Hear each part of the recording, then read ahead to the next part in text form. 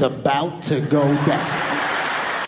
What's the freakiest thing you're trying to do tonight? I'm trying to kiss a girl. Ooh. Ah, you're teasing me. Naughty, naughty.